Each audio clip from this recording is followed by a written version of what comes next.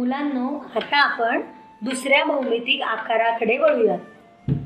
विदूषकाच्या टोपीसारख्या दिसणाऱ्या आकाराला शंकू असे म्हणतात.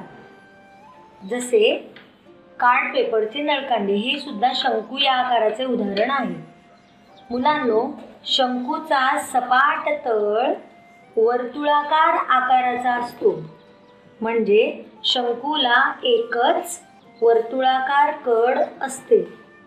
तसेच शंकूचा पृष्ठभाग हा तिरका पण वळत जाणारा असतो. वळणारा म्हणजे वक्र. याचा अर्थ शंकूचा पृष्ठभाग हा वक्र पृष्ठभाग असतो. तसेच शंकूला एकच कोपरा असतो. समजले का मुलांनो? शंकूला एकच वर्तुळाकार कड आणि एकच कोपरा असतो. तसेच शंकूचा पृष्ठभाग हा वक्र पृष्ठभाग असतो. मुलांनो तुम्ही आईस्क्रीमचा कोण खातात? तो सुद्धा शंकू या आकाराचा असतो.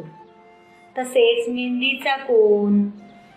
विदूषकाची टोपी कार्ड पेपरचे नळकांडे ही सर्व शंकू या आकाराची उदाहरणं आहेत. अच्छा मुलांनो